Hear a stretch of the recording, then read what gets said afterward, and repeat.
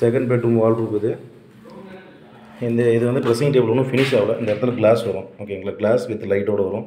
இன்னும் lock handles எல்லாம் போடாமல் இருக்குது போட்ட அப்புறம் உங்களுக்கு இன்னொரு வீடியோ எடுத்து அனுப்புகிறேன்